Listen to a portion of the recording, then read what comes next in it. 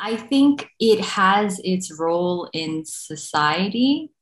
So, so, society is created by a bunch of me's. It is the me in in large, basically. So the me is able to function in that because it is created by the construct of a false self. So it's feeding off of each other. It reflects each other. So in that way, it's needed, but beyond that, it's not needed beyond that, I think the organism in its so called natural way of being. Um, so I can say, in a way, this, the, this comes first, but I would not say that's selfishness anymore. It's just the natural movement of a living organism, like a dog. It will fend for itself but there isn't the added layer of dominating other people in order to make me feel better, more worthy, or putting myself down to feel secure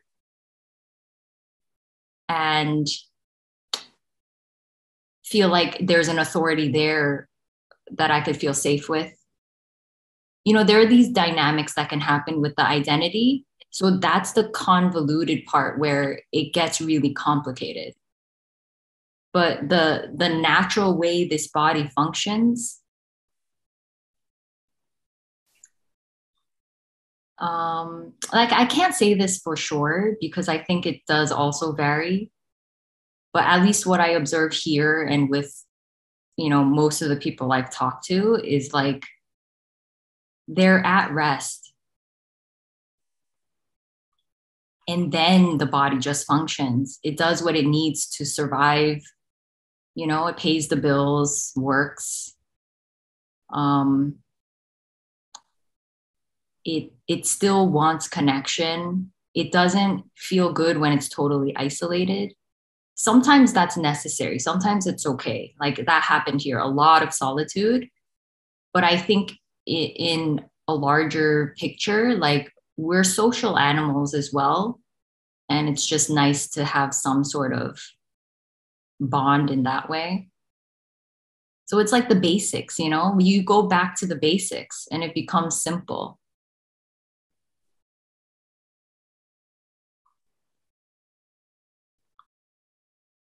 And um, so, one of the fun things about this as as the personal stuff in a way is processed and released. Um,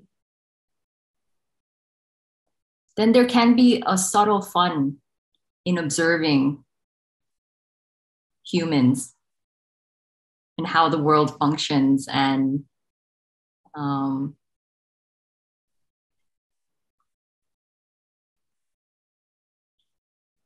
and a lot of the a lot of a lot of the stuff i used to read makes a lot of sense. You know you're kind of in the world but not of the world. I think that's the same. You're kind of just the witness and the observer but now there it's not someone being the witness or observer. It's just this it can happen. And there is no position to it but when a spiritual seeker hears that, it will identify as the witness, as the observer, take a position, and then it becomes more complicated. Um, that's innocently, like it can't help but do that with everything, basically. But here, without itself, there is just this observing of the absolute beauty and chaos of everything. And you're untouched because you're not there, you're empty.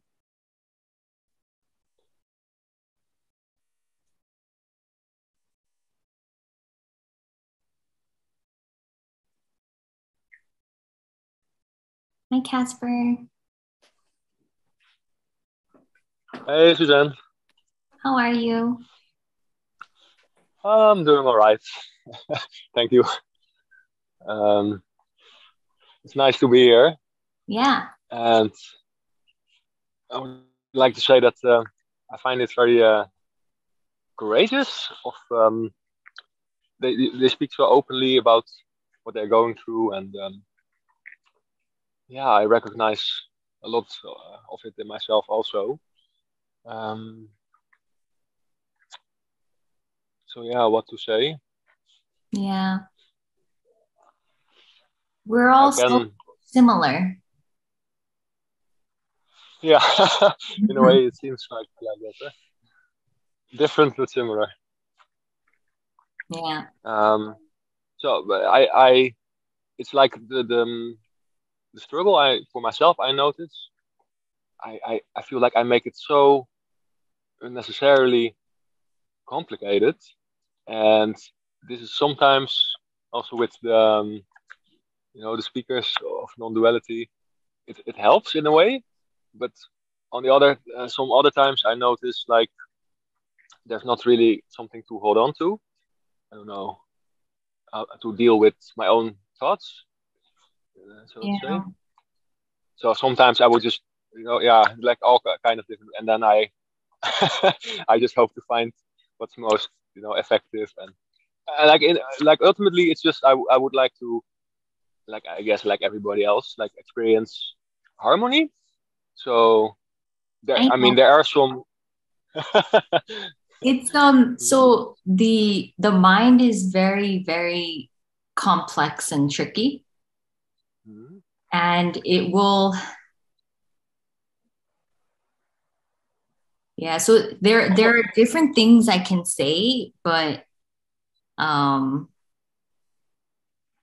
so in a way it will always be like that. So the thoughts are never really the problem. There is no problem honestly.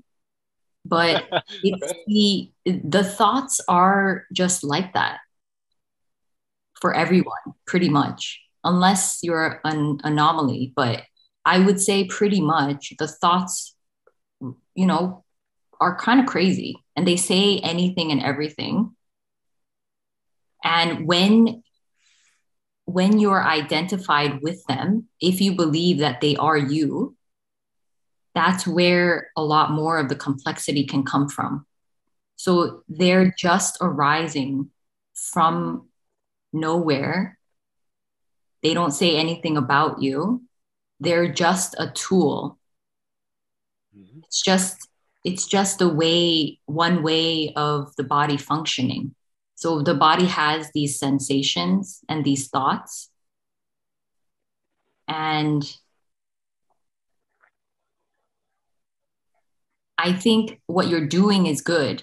You're kind of coming back into the body rather than only being in the head right because it, it will always come down to what feels most true because there will never be a right answer in a way. Mm-hmm. So it will always come down to the feeling first. And the, I think the more that you can do that, the better off you'll be. Because then it's your intuition guiding you more than the thoughts then it's the resonance guiding you more than the thoughts. And this isn't like, it takes practice in the beginning because when there's too much energy up here, it might take time to consciously bring it down. So it might feel like you're doing that, like that practice if it might feel like yeah you're doing that but really no one is doing that it's it, by hearing something like this perhaps it's just implemented or not yeah mm-hmm. Mm-hmm.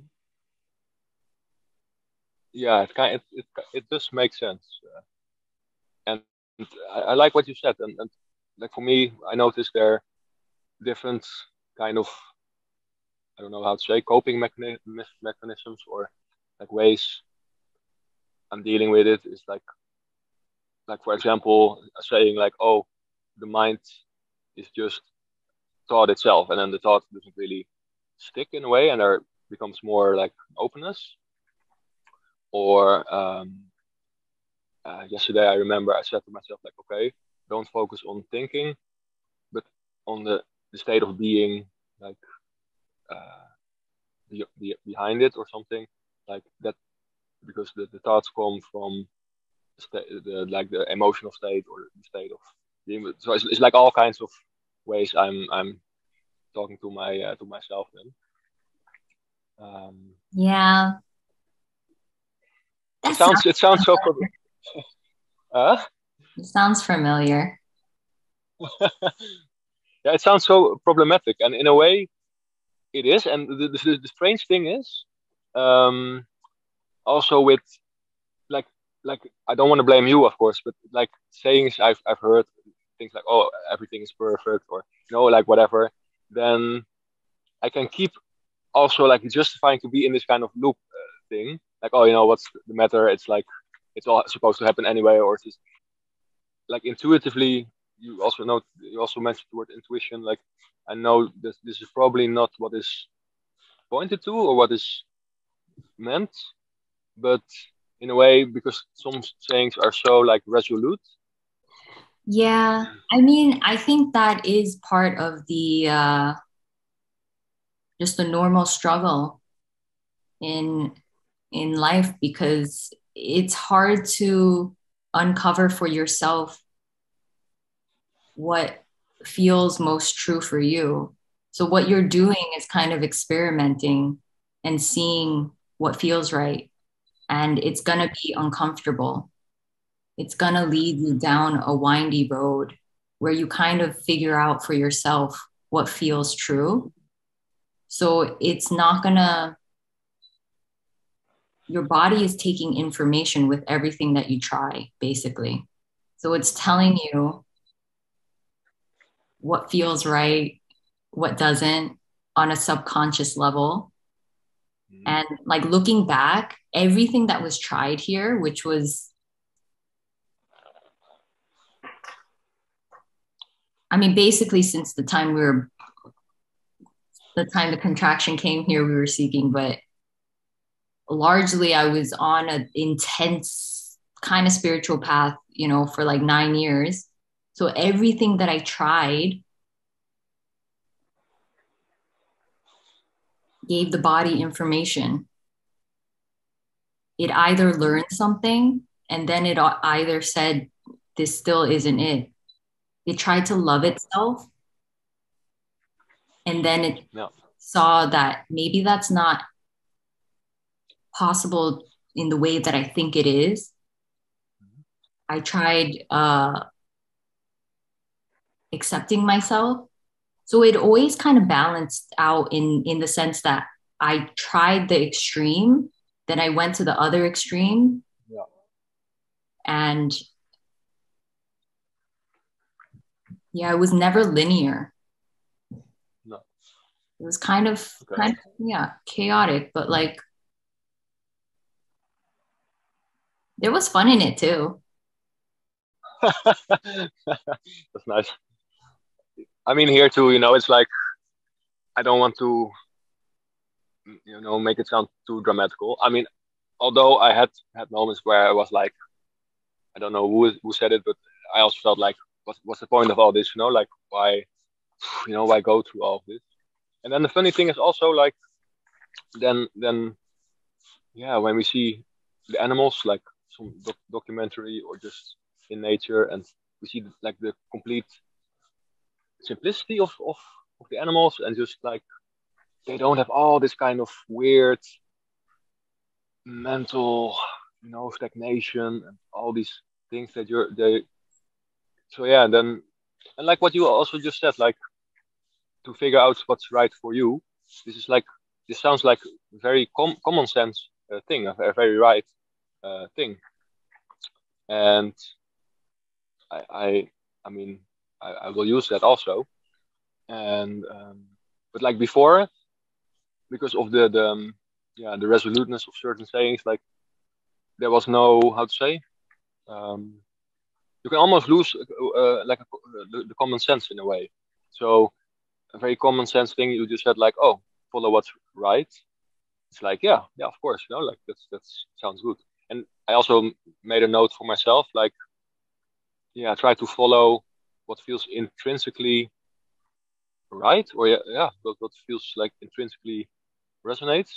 But still i notice even when i say it now that it can like be overruled by just another saying i heard somewhere and then it's like so i cannot even so this is the thing it's, it's still kind of uh, swingy how to say like um yeah well i can totally relate to everything you said. And high five. It's not it's not an easy thing. It's frustrating. Mm-hmm. but yeah because overall like so i can say things like yeah follow your intuition. It's easy to say those words but um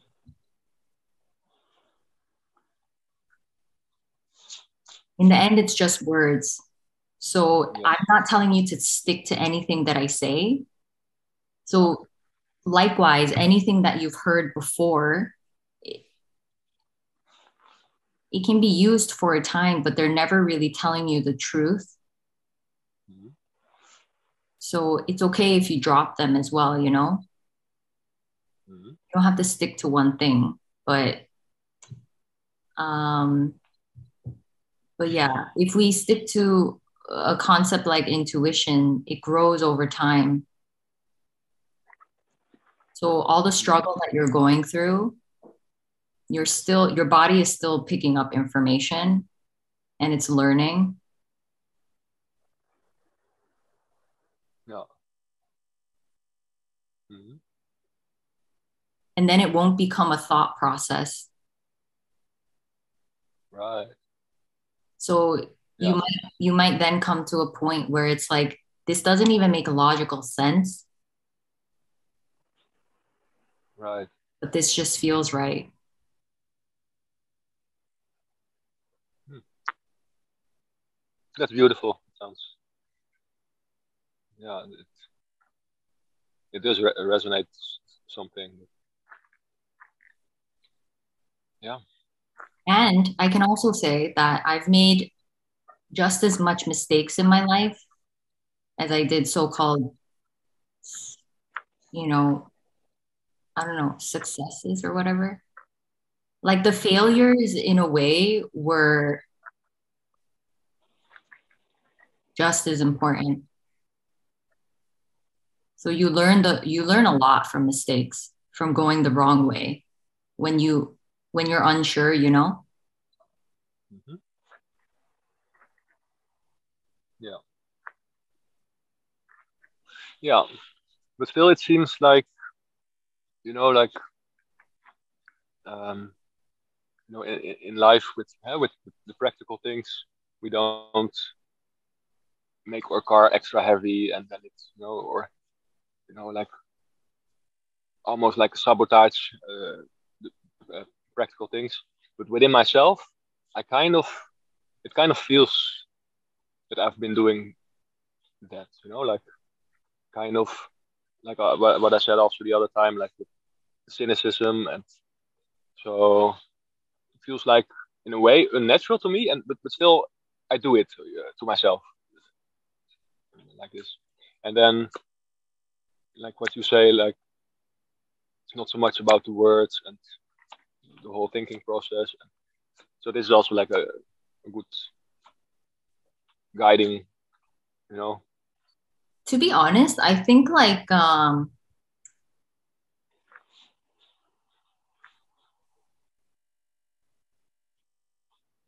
yeah there's so many so many different ways that i can ex- address that kind of stuff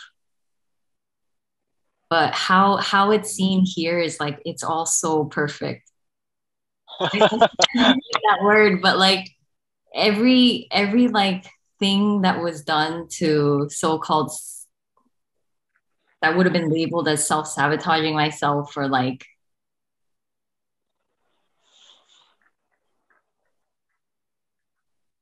I don't know. All I can see is perfection in it. Because it's kind of like it's so in a way normal that the human body would do that the identity would do that. Not the human body but the identity it's so convoluted. Like even here i would i would kind of know the reason why i put myself in harmful situations. I would know exactly why. And yet it still happened and it was it was only when i really learned that these energies are in the body. This is a learned habit in the body. Only when i really saw it in that way rather than like only a psychological understanding of myself only then could could it be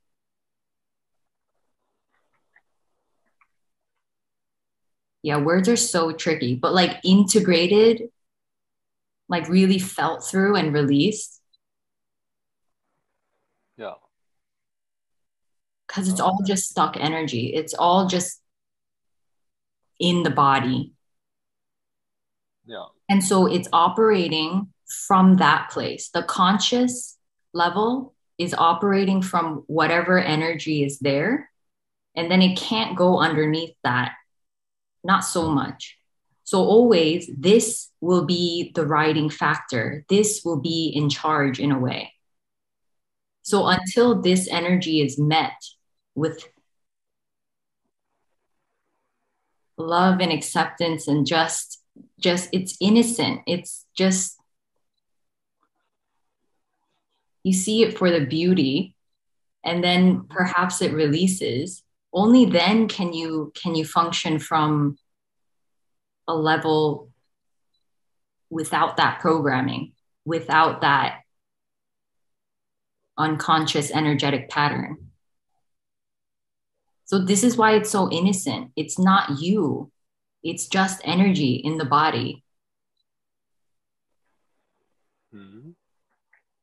so then your thoughts will actually change potentially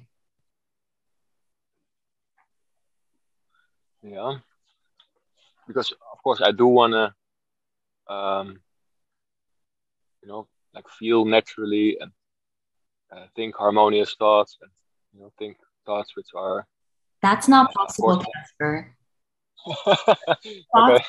Those thoughts will always be negative and positive, and it doesn't have anything to do with you. You can't really control the thoughts. Like, I'm not saying don't attempt to, it's okay if you want to replace it with positive and stuff. But I'm saying on an ultimate level, the thoughts are arising on their own. And they're a mixture of everything. They're in, they're coming from your whole environment. And your whole environment is never just positive or good. No, it's true. Yeah. Okay, I'll be just uh, continue this ma magical journey of life. So uh, yeah. Yeah. Well, thank you. yeah, thanks a lot. It's, thanks for sharing, Casper. Thank you.